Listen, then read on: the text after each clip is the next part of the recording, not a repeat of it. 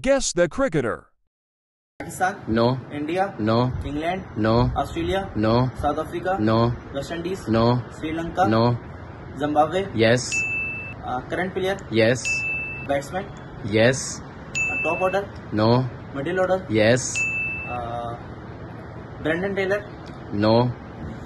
uh, righty, No. lefty batsman, Yes.